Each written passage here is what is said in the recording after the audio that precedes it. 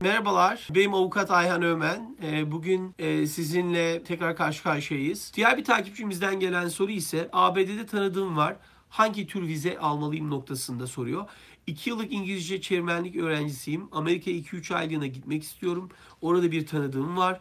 Onun içinde e, onun evinde kalacağım. Hangi tür vize almam gerekir diye soruyor. Anladığım kadarıyla e, siz turist vizesi almak istiyorsunuz. Dolayısıyla bu noktada benim size tavsiyem Türkiye'de de çevirmen olarak çalışmış çalışıyor durumdasınız.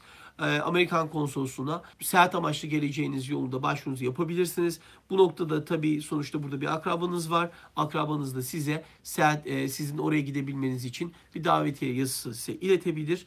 E, bu noktada size turist vizesine başvurmanızı tavsiye ediyorum.